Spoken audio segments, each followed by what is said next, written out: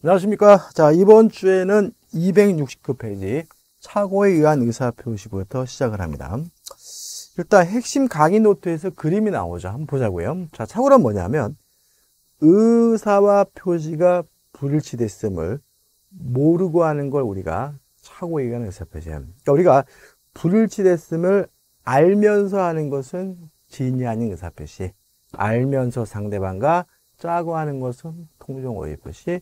의사표시가 불일치됐음을 모르고 하는 것은 차고 의한 의사표시인데 이 개념에서 잊지 말 것은 규범적 해석이죠. 다시 말하면 자연적 해석을 하게 되는 경우에는 차고 문제가 발생할 수 없다. 규범적 해석을 해야지만 차고 문제가 발생할 수 있다는 거 꼭 기억해 두시고요. 그 다음에 동계착오입니다. 자, 법률행위를 하게 된 동계착오가 있는 경우에는 언제 취소할 수 있느냐? 그 동기가 표시되거나 아니면 상대방으로 유발이 되어야 착오 문제가 되고 취소할 수 있다. 다시 한번요. 법률행위의 동계착오의 경우에는 그 동기가 상대방에게 표시가 되거나 아니면 상대방으로부터 유발된 경우에만 착오 문제가 되고요. 또 표시만 되면 되고 그 동기에 대해서 상방 간에 합의가 있을 필요는 없음을 주의하시기 바랍니다. 자, 이 개념이죠. 일단 어, 교재 하단에 259페이지에 차고의 태양에서 표시상의 차고, 내용상의 차고, 동계차고 나와 있는 우리는 동계차고만 읽지 않으시면 돼요. 표시되거나 아니면 유발된 경우에 차고를 유로 취소할 수 있죠.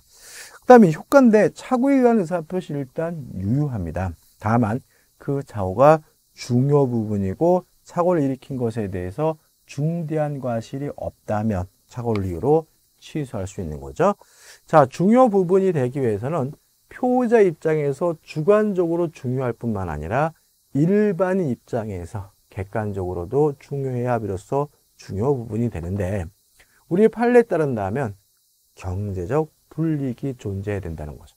따라서 만약에 차고가 있다 하더라도 아무런 경제적 불이익이 없다면 중요 부분이 아니기 때문에 사고를 이유로 취소할 수 없는 거예요. 따로 기억할 것은 아, 시가, 수량, 지적 부족은 중요 부분이 아니다. 거래 안전보호 때문에 그렇습니다. 그래서 우리 판에는 거래 안전보호를 이유로 단순히 시가, 가격이 잘못됐다는 이유만으로는 중요 부분이 아니라는 입장이고요. 수량 지적 부족, 주적이, 지적이 수량이 조금 부족한 것도 중요 부분이 아니라는 것이 우리 판례 입장이라는 거 꼭 기억해 두셔야 되겠죠. 그 입증인데, 자, 중요 부분님은 누가 입증하느냐? 취소하고자 하는 표자, 차고자가 중요 부분님을 입증하게 됨을 주의하시기 바랍니다.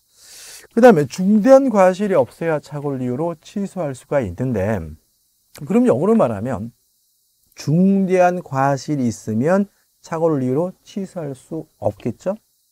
그러면 중대한 과실이 아닌 경과실이 존재하는 경우에는 착오를 이유로 취소할 수 있다는 거죠. 다시 말하면 경과실이 존재하더라도 착오를 이유로 취소할 수 있지만 중대한 과실이 존재하는 경우에는 취소할 수가 없다. 이게 원칙이에요. 다만 중대한 과실이 존재하더라도 상대방이 표의자의 착오를 이용한 경우에는 취소하는 것이 가능하다는 것이 우리 판례 입장이고 또 중대한 과실이 있다는 사실은 누가 입증하느냐? 취소하지 못하게 막으려고 하는 상대방 측이 입증하게 됨을 주의하시기 바랍니다. 효과죠. 자, 취소를 하게 되면 그 법률 행위는 소급해서 무효가 되기 때문에 무효가 되는데 다만 선의의 제3자에게 대항할 수가 없고요. 착오를 이유로 취소당하게 된 경우에 상대방은 손해배상을 청구할 수 없다는 것이 우리 판례 입장인 거죠. 그래서 260페이지 하단에 보시면 중요한 것이 나옵니다. 3. 손해배상을 청구할 수가 없다. 4. 계약이 해제된 후에도 착오를 이유로 취소가 가능하다. 자, 이게 무슨 말이냐면, 자, 착오를 이유로 취소하게 되면 손해배상해 줄 필요가 없죠. 근데 채무 불이행 등을 이유로 해제가 되면 손해배상을 해줘야 되거든요. 그래서 우리 판례는 해제가 된 후에라도 손해배상 책임을 면하기 위해서 착오를 이유로 취소하는 것이 가능하다는 것이 우리 판례 입장이라는 거 꼭 기억해 두시기 바라고요. 착오에 대해서는 시험 문제가 아주 잘 나오는 부분이니까 확실하게 될 것으로 만드시기 바랍니다. 자, 261페이지. 하자 있는 의사표시죠? 먼저 사기입니다. 자, 개념이 뭔가요? 기망, 속였더니 넘어가서 착오를 일으키고요. 그 착오에 의해서 일정한 의사를 표시하게 되면 사계에 의한 의사표시다. 근데 여기서 좀 생각해 볼 것은 뭐냐면 기망이라는 속임수를 빼고는 어차피 사계에 의한 의사표시도 사고에 의한 의사표시므로 우리 판례에 따른다면 사기를 당한 사람은 사기를 이유로 취소하거나 착오를 이유로 취소하는 것을 선택할 수 있다는 것이 우리 판례 입장임을 주의하시기 바라고요. 자, 사기에 의한 의사표시가 되려면 기망, 속이는 행위가 존재해야 되는데 꼭 적극적이어야 하느냐 이 문제에 대해서 우리 판례는 고지 의무가 존재하는 경우에는 침묵도 기망이고 사기가 된다는 것이 우리 판례 입장인 거죠. 자, 한번 생각해 보자고요. 자, 알려줄 의무, 고지 의무가 존재하는 경우라면 침묵, 아무 소리 안 하는 것도 어, 뭐가 돼요? 기망이고 사기가 될 수 있다는 것이 우리 판례 입장인 거죠. 아, 우리 판례 중에서 고지 의무가 존재하기 때문에 암소리 안 하는 것이 사기다라고 판시한 것을 두 가지를 기억해 두시는데 첫째, 아파트를 분양하면서 쓰레기 매립장이 건설될 예정인 것을 이 아파트 분양하면서 쓰레기 매립장이 건설될 예정이라는 사실에 대해서는 고지 의무가 존재하는 것이기 때문에 암소리 안 하고 아파트를 분양한 것은 기망이고 사기라는 것이 우리 판례 입장인 거고요. 두 번째 아파트를 분양하면서 대규모 공동 묘지가 인근에 존재한다는 사실에 대해서도 침묵한 것도 기망이고 따라서 사기라는 것이 우리 판례 입장임을 주의하시기 바랍니다. 다만 유의하실 것은 뭐냐 하면 단순히 시가에 대해서 가격에 대해서 침묵을 지키는 것은 기망이 아니고 사기가 아니라는 것이 우리 판례 입장입니다. 이것도 꼭 기억해 두십시오. 다시 말하면 내가 팔고자 하는 물건에 대한 그 시가, 가격에 대해서 고지해 줄 의무가 없는 거고요. 따라서 어, 시가에 대해서 침묵한 것은 기망이 될 수 없고 사기가 될 수 없다는 것이 우리 판례 입장인 거죠. 그 다음 두 번째, 모든 기망이 사기인 것은 아니고 위법해야 됩니다. 여기서 말하는 위법이라는 것은 비난할 정도, 비난 가능성의 존재거든요. 따라서 기망이라 하더라도 비난할 정도가 아니라면 위법한 것이 아니기 때문에 사기가 아니라는 것이 우리 판례 입장인 거죠. 따라서 우리 판례에 따른다면 위법과 관련돼서 우리가 기억할 것은 다소의 과장 광고죠. 다소의 과장 광고로 평가된다면 다소입니다. 조금이죠. 아, 과장각을 평가된다면 서로 그것이 기망이라 하더라도 비난할 정도가 아니기 때문에 위법하지 않기 때문에 사기가 아니라는 판례가 대단히 많고요. 그 다음에 아, 시가를 고가로 고지한 경우죠. 자, 우리 판례에 따른다면 한 푼이라도 더 받으려고 하는 것은 인지상정인 거죠. 따라서 자기 물건의 가격을 고가, 높은 가격을 부르는 것은 서로 그것이 기망이라 판단하더라도 비난할 수 없기 때문에 위법한 것이 아니고 사기가 성립되지 않는다는 것이 우리 판례 입장이라는 거 꼭 기억해 두시기 바랍니다. 그 다음에 세 번째, 이단의 고의. 다시 말하면 기망을 해서 착오를 일으키겠다는 1단계의 고의만으로 부족하고요. 그 착오를 일으킨 사람으로부터 일정한 의사표시를 받겠다라는 2단계의 고의가 필요한데 조심할 것은 과실로 기망한 것은 사기가 아니라는 거죠. 다시 말하면 고의로 속어야 고의로 기망해야 사기인 것이고 과실로 속인 것은 사기가 아님을 주의하시기 바랍니다. 그 다음에 인과관계는 객관적일 필요는 없다. 주관적인 것만 충분하다. 다시 말하면 일반 입장에서 넘어갈 정도가 아니었다 하더라도 주관적으로 표의자 입장에서 넘어갈 정도라면 인과관계가 있는 것이고 이것도 사기가 될 수 있다는 것이 우리 판례 입장인 거죠.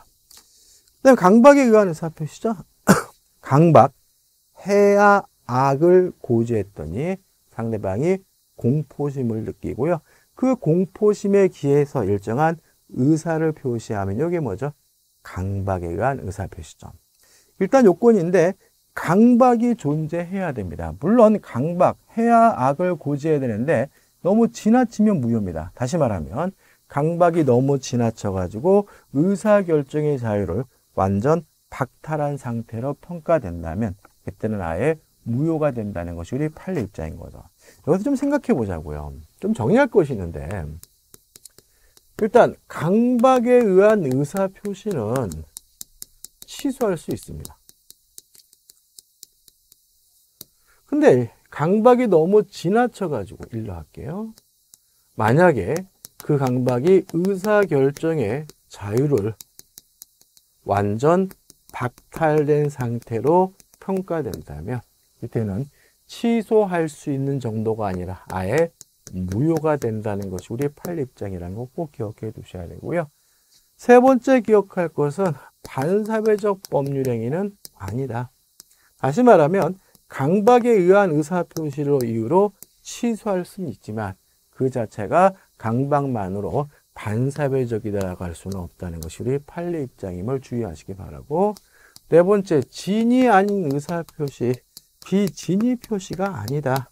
다시 말하면 강박에 의한 의사표시가 진이 아닌 의사표시로서 무효가 될 수는 없다는 것이 우리 판례 입장이라는 거 주의하시기 바라고 요 네 가지 꼭 숙지해 두셔야 되는 거죠. 그 다음에 아, 위법해야 됩니다. 아, 비난 가능성의 존재, 비난할 정도여야 되는데 요 강박의 위법성에 대해서 우리 판례가 두 가지로 나뉘어요. 행위나 수단이 부당하다면 정당한 이득을 취득할 목적에도 위법하다고 합니다. 다시 말하면 빌려준 돈을 돌려받는 것은 정당한 이익인 거죠. 근데 행위나 수단으로서 뭐 불질러 버리겠다, 죽여 버리겠다 이렇게 행위나 수단이 부당하다면 그것도 위법한 강박이 될 수 있다는 것이 우리 판례 입장이고요. 또 행위나 수단이 정당하더라도 부정한 이득을 취득할 목적이면 위법하다는 것이 우리 판례 입장입니다. 예를 들어서 고소하겠다, 고발하겠다고 했어요. 그러면 고소, 고발은 국가로부터 구제를 받겠다는 것이니까 그 자체는 뭐한 거죠? 정당한 거죠. 근데 고소, 고발하겠다고 한 이유가 만약에 부정한 이익을 취득할 목적이었다면 그것도 위법한 강박이 될 수 있다는 것이 우리 판례 입장임을 주의하시기 바라고 또 이단에 고의해야 되고 인과관계가 있어야 되는데 이 인과관계는 굳이 객관적일 필요는 없고 주관적인 것만으로도 충분하다는 게 우리 판례 입장인 거죠. 자, 효과입니다. 취소할 수가 있습니다.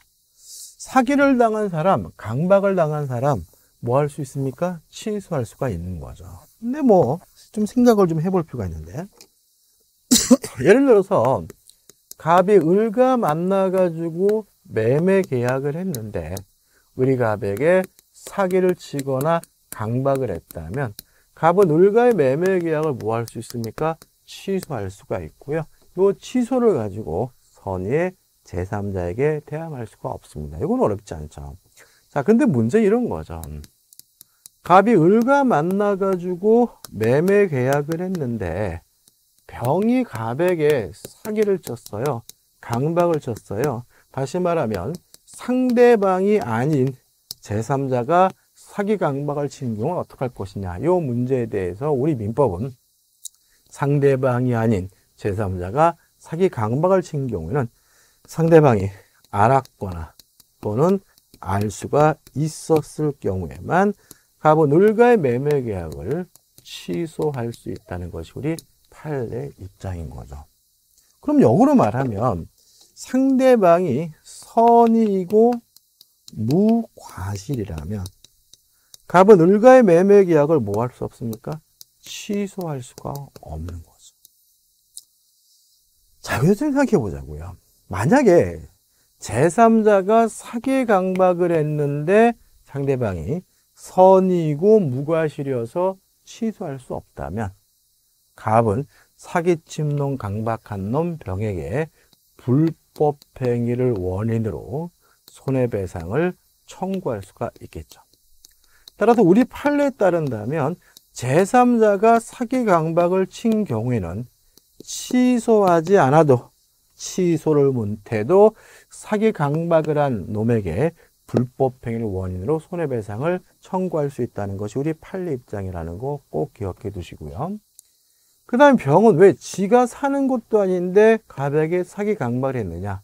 요 문제에 대해서 우리 판례는 대리인일 수도 있고 피용자일 수도 있겠죠.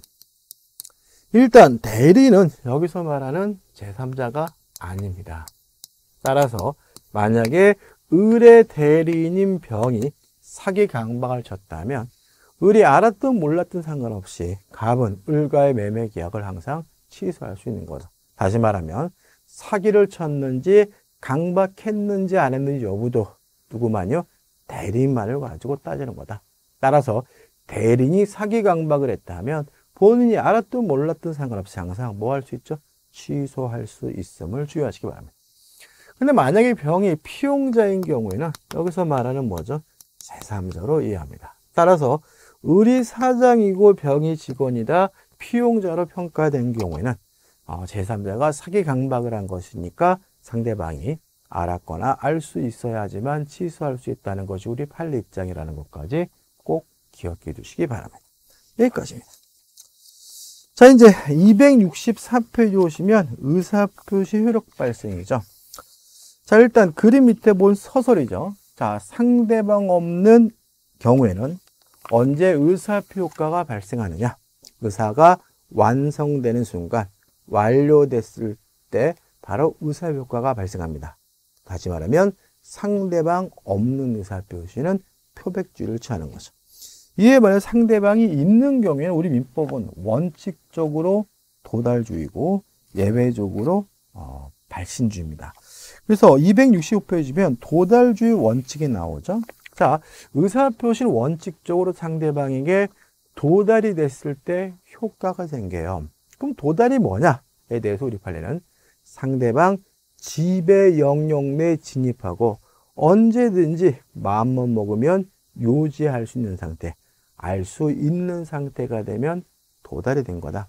따라서 상대방 본인이 직접 받는 경우뿐만 아니라 동거하는 가족이나 파출부가 받는 것도 일단 도달된 것으로 보게 된다는 거 주의하시기 바라고요. 또 의사 표시가 상대방에게 도달된 후에는 더 이상 처리할 수 없다라는 거 꼭 기억해 두셔야 되고요. 또 의사 표식이 연착됐다 또는 불착됐다 표의자에게 책임이 귀속되면 너무나 당연한 것이고요.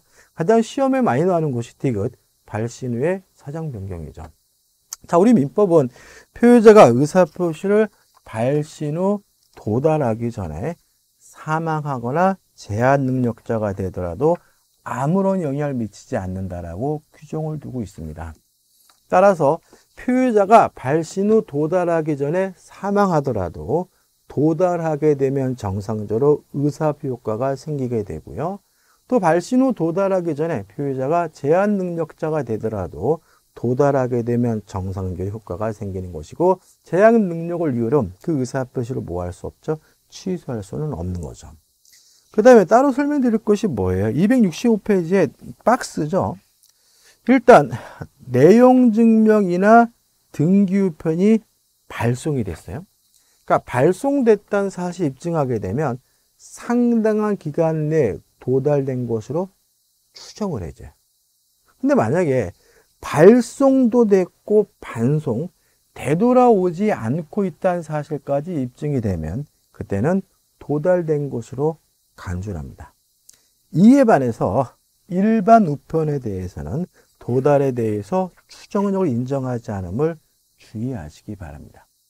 그 다음에 공시송달인데 공시송달은 언제 하게 되냐면 공시송달에 대해서는 언제 해야 되는지 그것만 알면 되는데 아, 과실 없이 상대방을 모르거나 과실 없이 상대방의 소재를 모르는 경우에만 공시송달할 수 없다. 다시 말하면 상대방이 누군지 모르거나 상대방의 소재를 알지 못해서 공시송달하기 위해서는 뭐가 없어야 됩니까? 과실이 없어야 됨을 주의하시기 바랍니다. 이제 마지막으로 266페이지 의사표 수용 능력이죠. 일단 기본적으로 제한 능력자는 수령 무능력자입니다. 따라서 미성년자 피한정 후견인 피성년 후견인이 맞더라도 의사 표시는 도달되지 않습니다.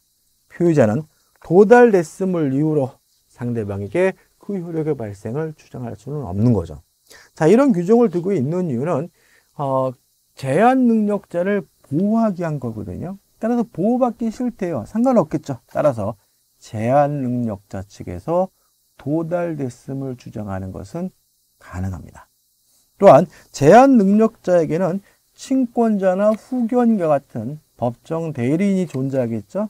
친권자 후견인과 같은 법정 대리인 도달을 안 때는 그때는 도달이 되게 됨을 주의하시기 바랍니다. 자, 정리해 볼게요. 자, 상대방이 제한 능력자인 경우에는 원칙적으로 의사 표시가 도달되지 않습니다.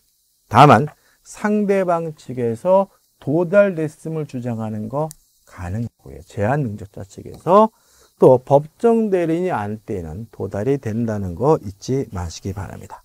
자, 여기까지 이제 원칙인 거죠. 그럼 이제 우리가 예외로서 이제 뭘 공부해야 되냐면, 아, 265페이지 하단에 보시면 예외 발신주가 나오죠. 자, 의사표시는 원칙적으로 도달주입니다.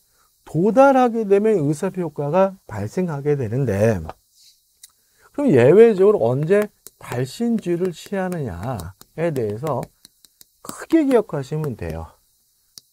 답장과 사원총의 소집 통지가 발신주의다. 뭐와 뭐가요? 답장과 사원총의 소집 통지가 발신주의. 최고 같은 말에 촉구죠. 최고나 촉구에 대한 답장인 확답은 발신주의입니다. 이게 외우, 외우기 위한 방법입니다. 그 다음에 청약에 대한 답작인 승낙은 뭐죠? 발신주인 거죠. 끝이에요. 자, 교재 보시면, 자, 260페이지 하단에 기억. 제한 능력자 상대방의 촉구에 대한 답장인 본인 등의 확답은 발신주입니다.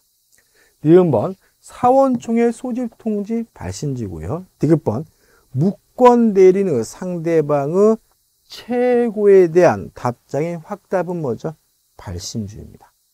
그 다음에 청약에 대한 답장의 승낙은 뭐죠? 발신주의죠. 좀 리을번은 다르긴 한데 그냥 수험을 외우는 거니까 채권자의 채무 인수인에 대한 승낙의 확답, 청약에 대한 승낙, 승낙의 확답, 답장은 발신주의다. 미음 번 격지자 사이의 계약의 승낙의 톤지, 청약에 대한 답장인 승낙은 뭐죠? 발신주의. 이렇게 크게 기억하시면 문제 푸는데 큰 어려움이 없습니다. 자, 이렇게 해서 이제 우리가 의사표시는 다 끝났죠? 끝났고, 이제 267페이지 중요한 이제 대리로 들어가도록 할 거고요. 대리에 대해서 우리가 다음 시간에 들어가도록 하겠습니다.